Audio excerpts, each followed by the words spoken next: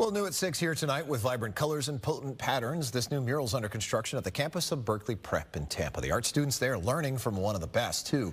They partnered with a professional artist who has created murals all over the world. And as Fox 13 photojournalist Barry Wong shows us, more than 250 elementary school students are contributing to this piece of art. Because here is the sunset. Is in this painting, we try to encapsulate the beauty in the vibrancy and the colorfulness of Florida and Tampa together. I like the color contrast, you know, it stands out, the, the blue and the, the black. So you have a part of the painting is obviously the city of Tampa. You can try your best to make it into a rhythm, a pattern, a size that's consistent. But then the city spreads out into the beautiful landscapes of Florida. Across the two-week period, each student will have three different hour-long sessions where they will be painting directly on the canvas. Here, here. Maybe like near some clouds?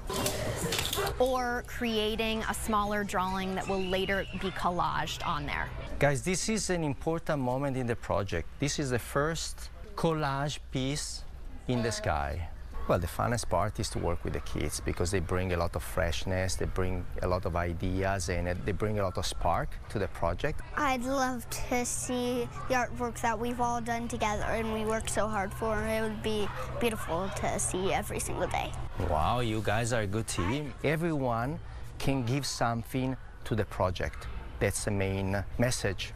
They're going to be just feeling this incredible sense of pride for the work that they did to beautify a cafeteria space in our school and to feel inspired that they too could create beautiful pieces of art like this. The mural is expected to be completed by this Friday.